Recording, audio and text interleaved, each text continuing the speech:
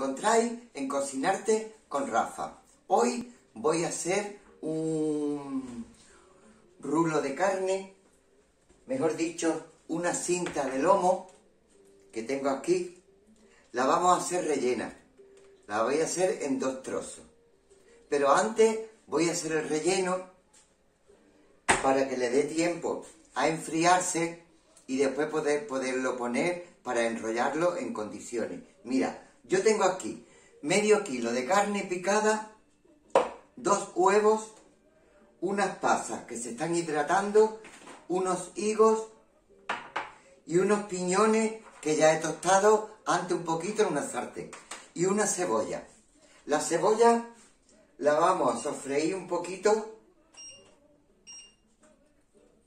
en la sartén.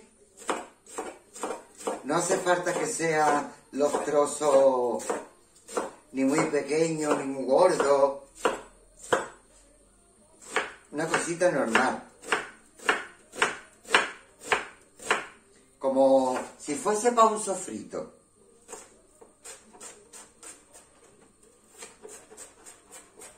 Ahora esto, cuando esté ya mmm, no sofrito, sino que esté transparente, esto se lo vamos a echar a, la carne. Y la vamos a salpimentar también. Ahí.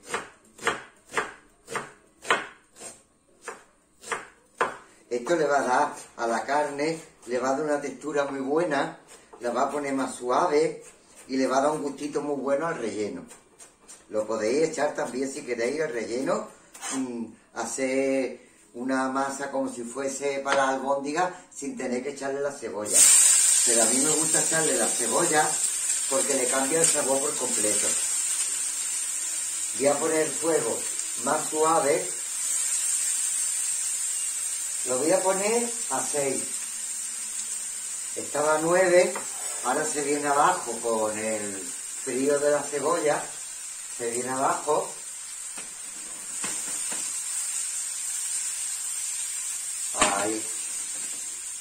Y despacito se va pochando. Mientras tanto, yo le voy a ir echando a la carne con una cucharita, porque no me gusta tocar la sal con las manos.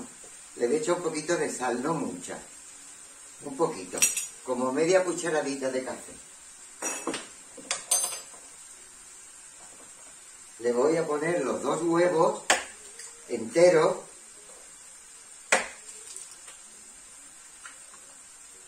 Ah. Los piñones.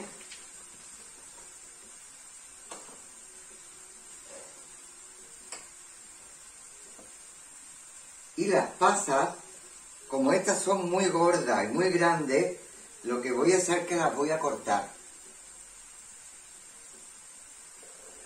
Las voy a cortar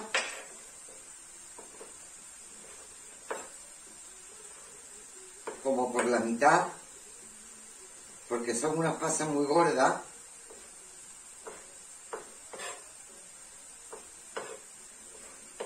Así.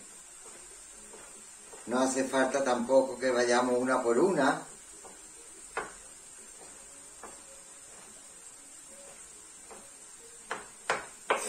Ahí.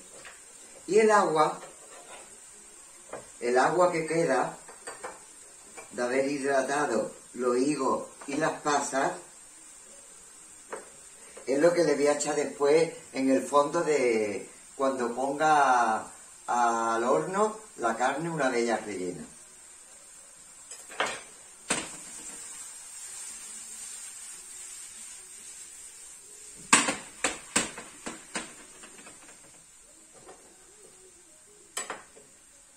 Al higo se le quita la parte que iba, que está durilla, la parte que va pegada a lo que es la rama, que se queda aquí durita, eso se le quita.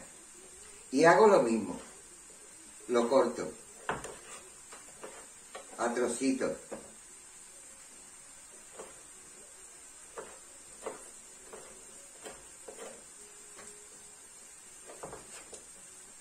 Sí se puede hacer uno a uno porque es mucho más grande que la pasa, claro. Si os sobra relleno, yo os voy un consejo. El relleno que os sobra, después para otro día cualquiera, cogéis la masa de, de estas empanadillas que venden ya hechas, las obleas de la empanadilla. Y hacéis como para una empanada y le ponéis de relleno lo que os haya quedado de, de esta masita que yo estoy haciendo aquí. Y os queda una empanadilla de muerte. De buena.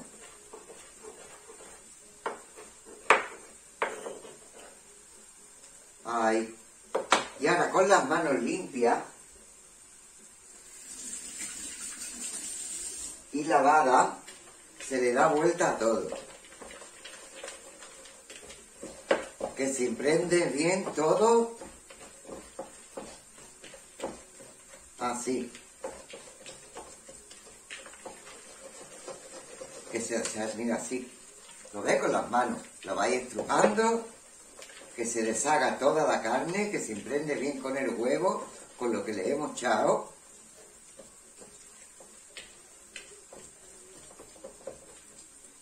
Me vuelvo a lavar las manos.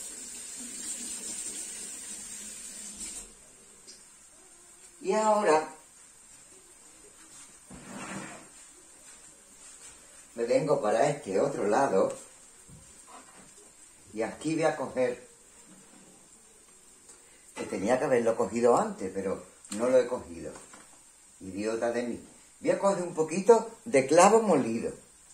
Muy poquito, ¿eh? Nada más que para que le dé un poquitín de sabor. Ahí. Y un poquito... Comino no, porque como le eche comino, mi yerno no va a comer. ¿Dónde está la canela? Canela, canela en rama. Aquí está. Y un poquitín de canela. Lo mismo, un pellizquito de canela nada más para que se note después el saborcito de la canela. Ahí, ya está.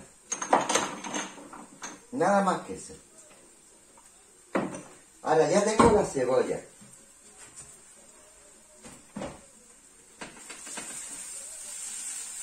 Ya tengo la cebollita lista. Apago el fuego y la cebolla, una vez pochada y transparente, se la echamos a todo lo que tenemos aquí. Ahora como la cebolla está muy calentita, pues entonces el huevo se va a quedar más compacto todavía, para que después podamos manejar bien Ahí lo ves, se cuaja. Se va cuajando. ¿Cómo huele? Con el sabor a clavo, la canela, los piñones, las pasas, los higos. Así todo bien. Que se imprende bien todo de la cebolla. Y ahora esto lo dejamos enfriar. No hace falta meterlo en frigorífico. No. Yo ya lo tengo ahí todo bien puestecito. Aquí.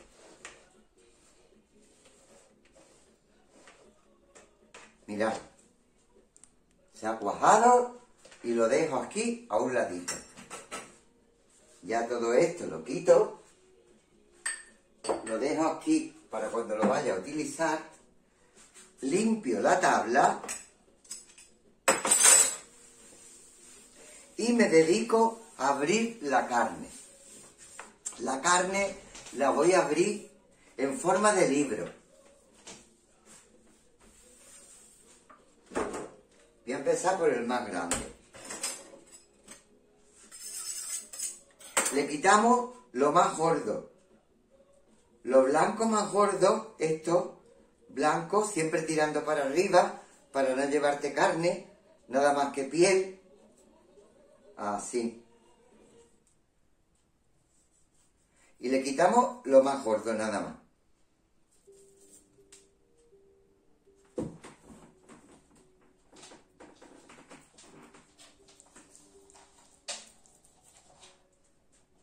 Ahí viene la Lola. Ha olido la carne y ya viene para acá. A sabiendo que no le voy a dar. Lola, no venga que aquí hay nada para ti. Lola, a tu cama, cariño. A tu cama. ¿Vamos? Que todavía no es hora de salir. Se le quita la piel esta finita que tiene. Ay. Este otro trocito también. No hace falta que quede completamente perfecto, perfecto. Con que quede así, y esto se deja tal cual está. Esto es la basura.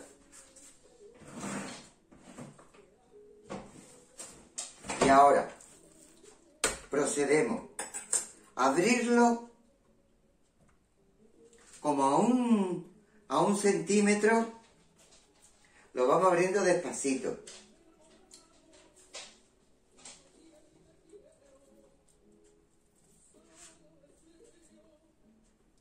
Así.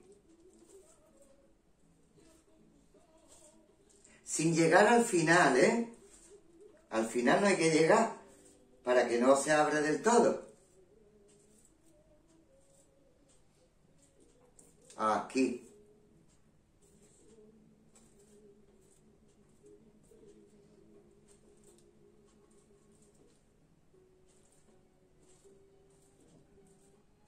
Ahí.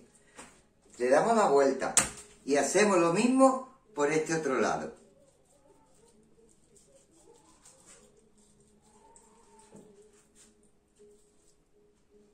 Le damos un cortecito ahí y ahora, si tiene mucho nervio por dentro, ahora se le quita.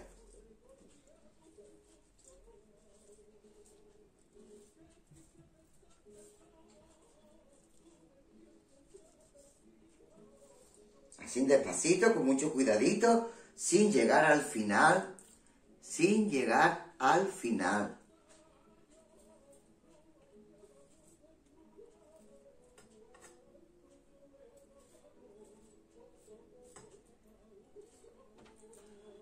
Un poquito más por aquí. Por aquí me falta un poquito.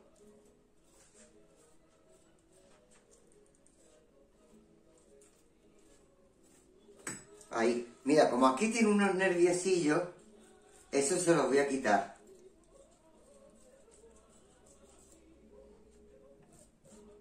Ahí.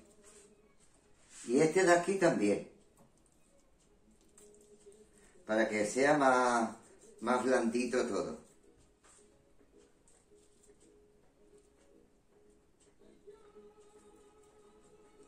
Ahí. Todos esos nervios se le puede quitar perfectamente. Que si se le deja tampoco pasa nada, ¿eh? Porque eso después con el mismo calor se... Después se corta muy bien a la hora de cortarlo, pero a mí me gusta quitárselo. Aquí se me ha quedado un trocito. Fuera.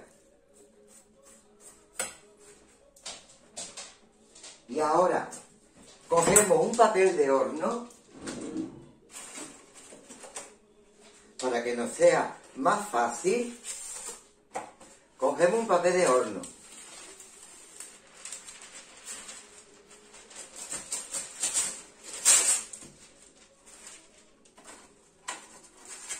Este que viene sin cortar es un rollo, pero vienen ya, hay otros que ya vienen cortados, ¿eh? Que vienen ya cortados. Hay que ver el día, los días de calor. Hoy 23 grados, ayer 22. Entre ayer 24. No me digas esto a mí. Y vamos a hacer esto.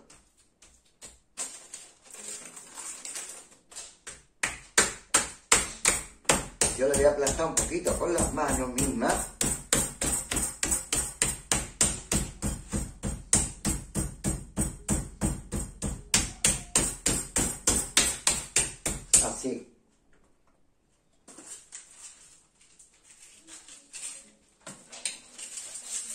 Voy a echar un poquito de sal.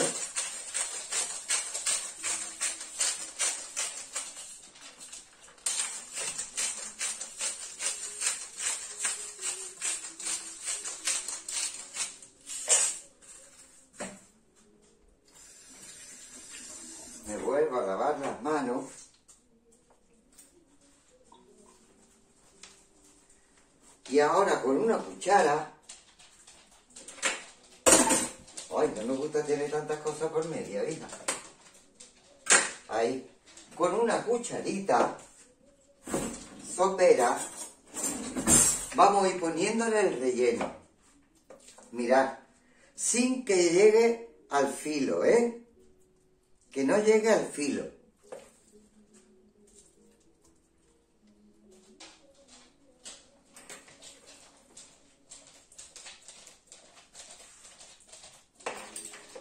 ¿Cómo huele el relleno, hija? ¿Cómo huele el relleno? Madre del amor hermoso. Ahí. Que quede como, como dos dedos a cada lado. Y ahora hacemos esto.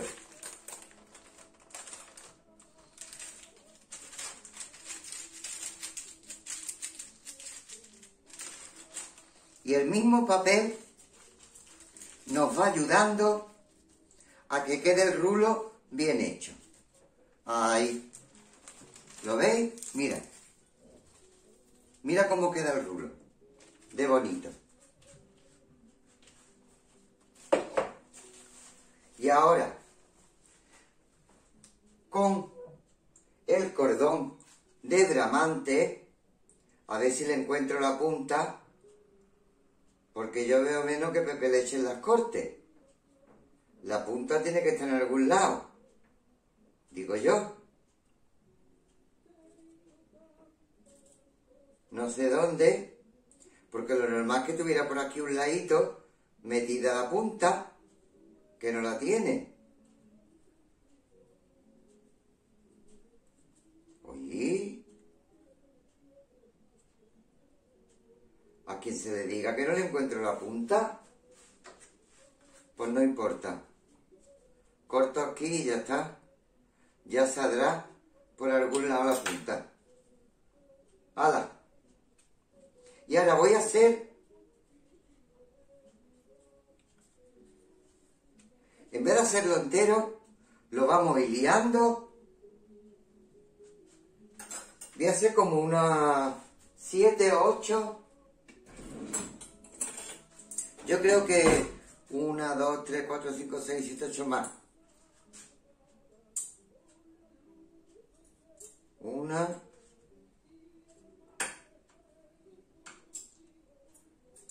Dos.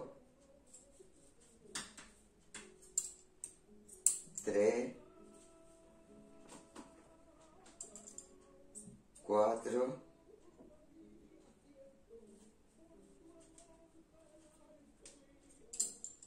Cinco. Seis. Siete. Yo creo que con ocho ya queda bien, bien atado para que no se salga. Y muy sencillo. Siempre lo vamos a volver así, que me es más fácil. Aquí. Empezando de allí para acá. Le metemos esto por aquí para adentro un poquito. Y empezamos a atarlo desde la punta. Le echamos un primer nudo y le damos la vuelta al hilo. Ahí, para que no se vaya. Ahí, ya tenemos uno.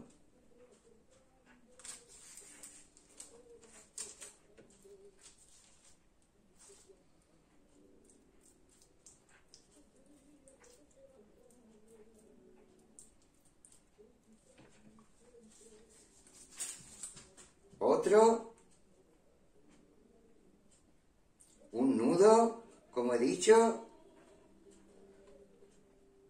La vuelta.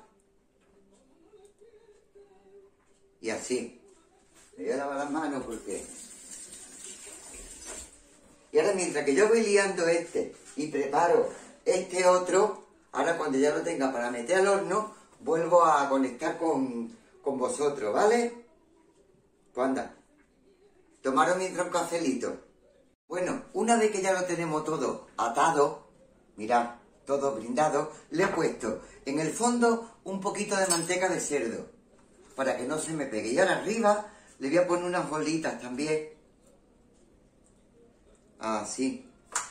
Que esto le da un sabor. Es manteca de cerdo ibérico. Ahí. Ahora esto se va derritiendo con el calor. Y esto después va a ser una salsita con su mismo jugo. Que una vez que esté fría y cortada, después la pongo en la placa del horno, la tapo ya cortadita mañana la tapo con un papel albal y la voy calentando al horno con la salsa por encima. Ahora, el agua que me ha quedado de las pasas y de los higos se le echa. Ahí me han quedado dos o tres higos porque eran muchos y no se lo he querido echar todo. Y ahora ya al horno. El horno lo he puesto a 180 calor arriba y abajo y con aire. Y esto va a estar como mucho una hora. Yo le iré dando vueltas, lo iré viendo, lo iré dando vueltas y cuando ya esté, pues ya os lo saco y os lo enseño. Ya lo he sacado del horno, ahora lo plastifico y lo dejo fuera de la nevera. Mañana lo corto en trocitos, lo voy cortando en trocitos, haciendo medallones, le pongo un papel albal, le echo un poquito de salsa por encima y al horno. Así que hasta mañana, que ya os terminaré de enseñar la preparación.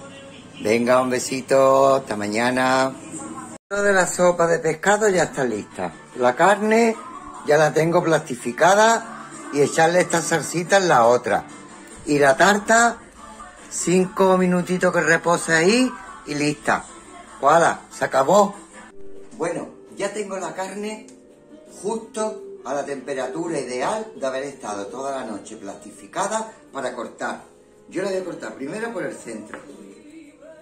Voy a hacer unos medallones,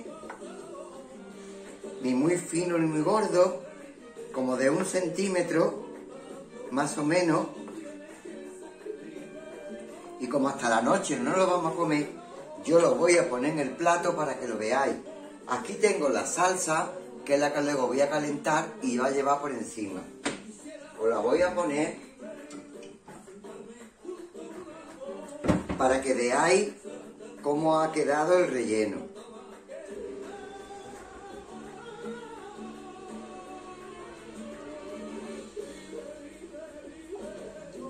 Esto tiene que estar de muerte mortal. Mirad. Así me ha quedado la carne. Una vez, no te caiga, hija. Una vez que ya... Mirad. El rellenito se queda en el centro, después se le echa la salsita. Esto ahora lo pongo en esta bandeja. Lo voy poniendo un poquito apoyada uno encima de otra veis, así, apoyada una encima de otra, le echo su salsa, la tapo con papel albal y al horno, para la hora de comer que esté calentita. Pues ya sabéis, si os ha gustado la receta, darle a la campanita, darle a me gusta, darle a compartir, darle a todo lo que tenga que darle, que paséis muy buena noche, que seáis muy felices, por favor, abrazaros, abrazar a los papás, abrazar a los abuelos, decirle te quiero, que después nos arrepentimos de no decirlo, decirle cuánto te quiero, hija, y el año que viene más todavía, y a los hijos, a los hijos abrazar a vuestros papás, a vuestros abuelos, y a los papás y a los abuelos, abracemos a los nietos, abracemos a los hijos, a las hijas, incluso a la vecina de al lado, si quiere, que está contigo porque está solita, pues también.